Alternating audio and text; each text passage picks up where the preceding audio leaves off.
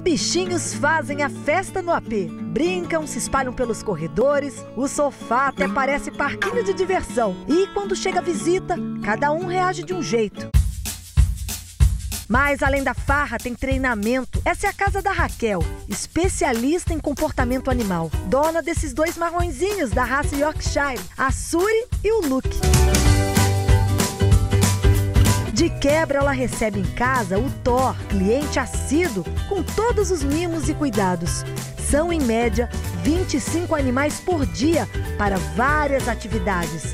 E agora nós vamos contar como tudo isso começou na vida dela. Tá vendo esse pequenininho aqui, ó? O Luke?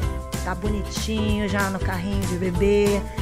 Foi a origem de toda essa transformação na vida da Raquel, porque ela já fez administração, fisioterapia, pedagogia e agora se especializou em comportamento animal e faz disso uma profissão. Raquel tá aí bombando, passeando com os cachorros, ganhando dinheiro e dando amor a esses bichinhos que precisam de atenção, né? Fazer o que gosta, né? É, tratando dos animais, dando a origem, qualidade de vida, bem-estar, eu acho que não tem preço, né? E é um amor muito puro, singelo e que cada dia eu só agradeço. Nós vamos acompanhar nesse dia D agora um pouquinho dessas tarefas e a gente vai explicar para vocês que não é a mesma coisa. Uma pet sitter, lembra da babysitter? Então, agora é de pet, né? Passeador de cães também é outra função. Isso. Cada um tem uma função especializada dentro do comportamento animal. Tá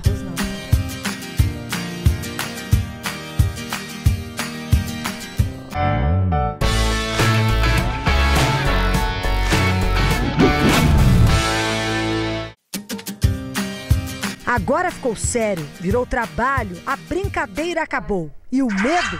Quem disse que consigo pegar os cãezinhos? Enquanto os ânimos se acalmam, a Raquel demonstra o resultado do trabalho de adestramento, muito importante para a relação diária com os animais. Ok, agora chegou a minha vez de ser a cuidadora de animais, ou pet sitter, dog walker. Vamos tentar, né? Mamãe, vem cá, mamãe. Já tô nervosa.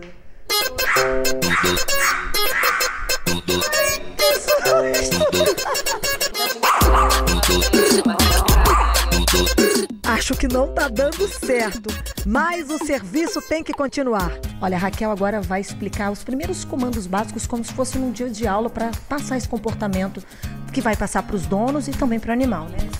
É, aqui seriam os primeiros comandos, até para o animal saber que ele tem que respeitar algum comando no meio da rua ou em casa mesmo, para saber os próprios limites. De comer, na hora de se comportar. Isso, ele tem que saber que o dono, né, o tutor, que vai colocar o limite na hora certa, não é ele que vai ter a hora dele.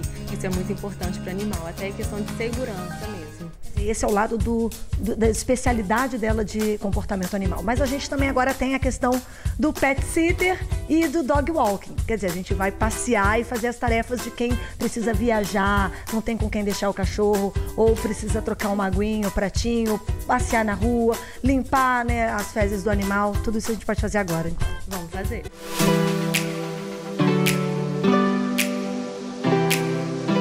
Mal sem encaixar a coleira. Raquel me dá as dicas? As garras são sempre viradas para cima, tá? Uhum. Essa pega no peitoral para não ter nenhum problema de pescoço, nem de traqueia, nem de coluna. E agora sim, prontos para o passeio.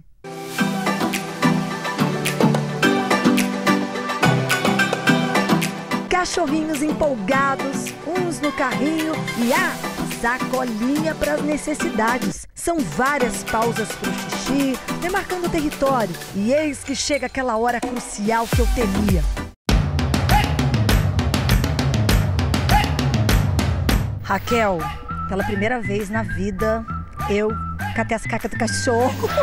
É o certo, né? É o certo e tem que recolher, é lei. Ela já teve algum passeio inusitado? Porque assim, o Thor, apesar de eu estar estranhando, é porque é algo pra mim novo. E você, já fez algo diferente? Ah, já teve sim. Foi um animal que eu não estava acostumada, que foi um papagaio.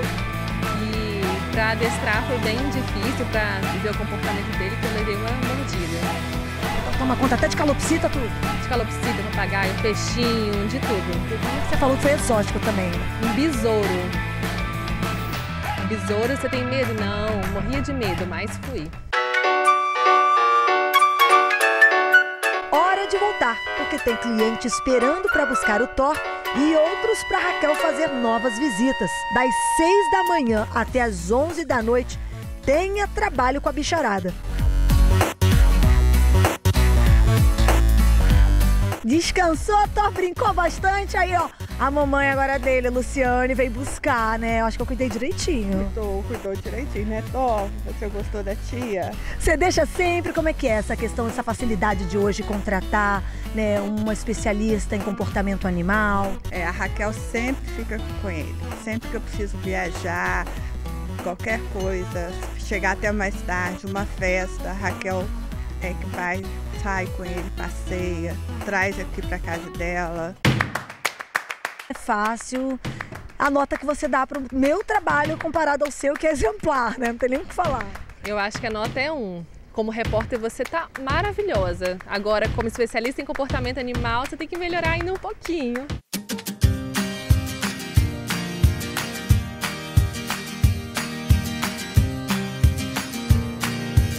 tem que ter vocação, não é qualquer um. Eu tirei nota 1, eu acho até que você foi legal, porque eu me daria até zero, porque eu e o cachorro estávamos quase igual ter que ser cuidada daqui a pouco, né? Porque eu estava igual agitada que nem eles. Mas valeu, obrigada. Eu que agradeço. Precisando é só contratar. Questão de confiança, questão de horário, é só ligar e a gente pode agendar e conversar pessoalmente.